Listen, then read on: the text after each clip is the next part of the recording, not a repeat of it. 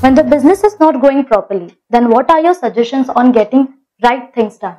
Uh, there can be various uh, issues for not uh, getting the business scale right. I will talk about uh, recently what I go through. Most of my clients who suffer to this scalability issue or they're not growing, they got halt, Okay. their their their flow has been you know slow down.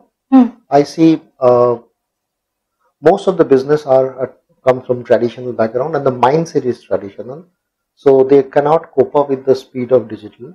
Digital marketing is still not understood by many corporate and SMEs of this country, so they try to manage digital with a traditional mindset. And I see there's a distortion, wrong executions happening.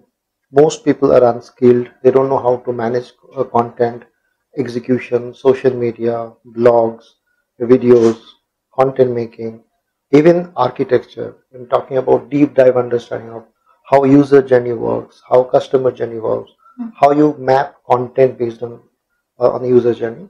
So there's a huge amount of gap. People here, I see that most of the time, uh, people uh, failed uh, on the growth part.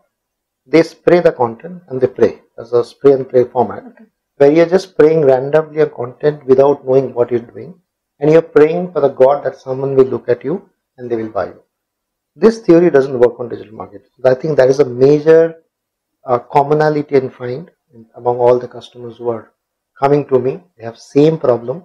Their growth has been stopped because the consumer behavior has changed. People are behaving, buying in a different stage.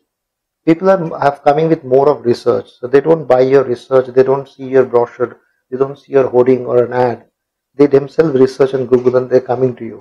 So the user and the consumer have become much more advanced, whereas the business is still a, a traditional. So there's a glitch, there's a problem of accepting what consumer is expecting them to act on, and that is the reason the growth is not happening.